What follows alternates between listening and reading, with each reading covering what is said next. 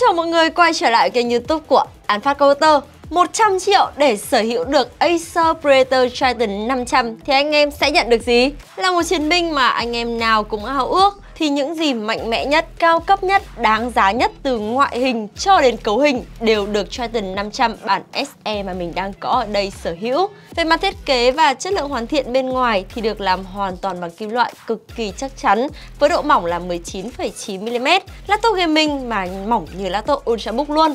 Ưu điểm thì là không bám một chút vân tay nào cả. Tuy nhiên nhược điểm thì máy sẽ hơi nặng một chút. Trọng lượng này thì chắc sẽ phải rơi vào tầm 2,6 đến 2,7 kg. Ngôn ngữ thiết kế từ trước đến nay của Acer vẫn luôn đơn giản, tinh tế nhưng cực kỳ sang. Ở phần mặt trước thì chỉ có duy nhất logo Predator đặt ở trên cùng các đường nét cứng cáp, mạnh mẽ vô cùng vuông vắn tạo nên một vẻ ngoài cực kỳ thu hút với tông màu xám bạc. Bản lề thì các bạn có thể mở được bằng một tay và mở được là 180 độ. Điều này thì mình nghĩ không chỉ hướng đến đối tượng game thủ mà có vẻ như là Acer cũng đang muốn tận dụng nhiều hơn nữa để có thể làm việc được trên mẫu laptop này. Phần khung bàn phím thì cũng được làm từ kim loại cực kỳ chắc chắn. Cảm giác sử dụng rất là tốt vì được làm từ kim loại, thế nên là phần bàn phím cũng đóng một vai trò tản nhiệt thụ động cho các thành phần linh kiện ở bên dưới. Và hầu như thì không ảnh hưởng gì đến việc chơi game thêm với các phím chức năng vì chủ yếu thì phần nhiệt năng nếu có hấp thụ sẽ chủ yếu ở phần giữa khung bàn phím mà thôi. Bàn phím thì phím bấm rất là nảy, tốc độ phản hồi nhanh và LED được trang bị ở trên này thì là LED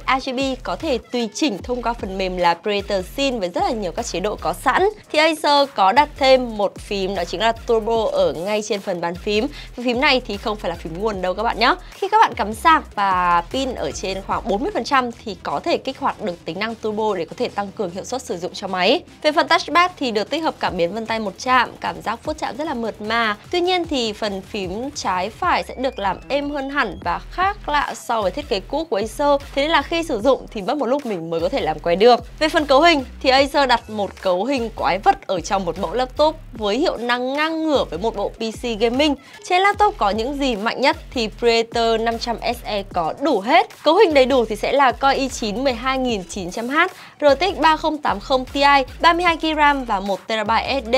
Ngoài ra thì còn hỗ trợ nâng cấp tối đa lên tới 4TB SSD. Đi kèm với cấu hình khủng thì các bạn sẽ cần tản nhiệt và sẽ có hai yếu tố để giúp các bạn làm điều này. Một là tản nhiệt của máy và hai đó chính là phần mềm. Với hệ thống tản nhiệt thì Acer đã trang bị hệ thống ống đồng dạng là hip Spy gồm 3 quạt Aeroblade bằng kim loại. Đặc biệt thì nhằm tăng khả năng tiếp xúc thì Acer không sử dụng keo tản nhiệt thông thường mà dùng hẳn kim loại lỏng. Còn phần mềm thì sẽ là Predator Sin cũng sẽ hỗ trợ cực kỳ nhiều tính năng liên quan tới tùy chỉnh mức độ hoạt động khác nhau thì các bạn sẽ có là Quiet này, Default này, Extreme này và Turbo. Hệ thống tùy chỉnh fan thì cũng được tích hợp và anh em có thể điều chỉnh tốc độ của từng quạt một luôn. Nhưng theo mình thì đơn giản hơn nếu chơi game anh em cứ bấm luôn phím Turbo cho nhanh.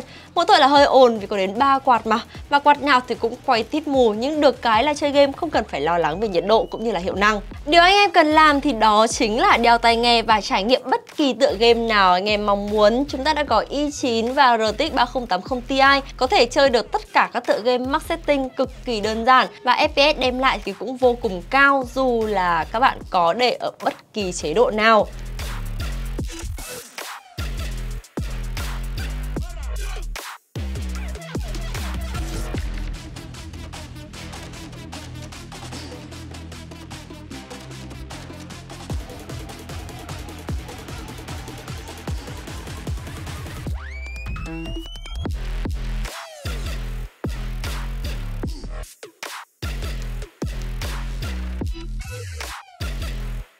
Và để xứng tầm với một cấu hình mạnh mẽ vượt trội thì màn hình Acer cũng trang bị cho Predator Triton 500 SE một màn hình có chất lượng cực kỳ tốt. Ở đây chúng ta sẽ có là tấm nền IPS với độ phân giải là 2560 x 1600. Tần số quét sẽ là 240 Hz, có tích hợp đầy đủ NVDA và G-Sync. Những khía cạnh khác liên quan tới trải nghiệm sử dụng hàng ngày như là cổng kết nối thì được Acer trang bị đầy đủ và chia đều ra hai bên với hai cổng USB Type-A, hai cổng Type-C hỗ trợ Thunderbolt 4, cổng HDMI, cổng mạng LAN và khe thẻ SD. Cuối cùng thì là jack audio combo. Công nghệ loa DTS thì sẽ cho trải nghiệm âm thanh khi các bạn nghe ở loa ngoài khá là tốt.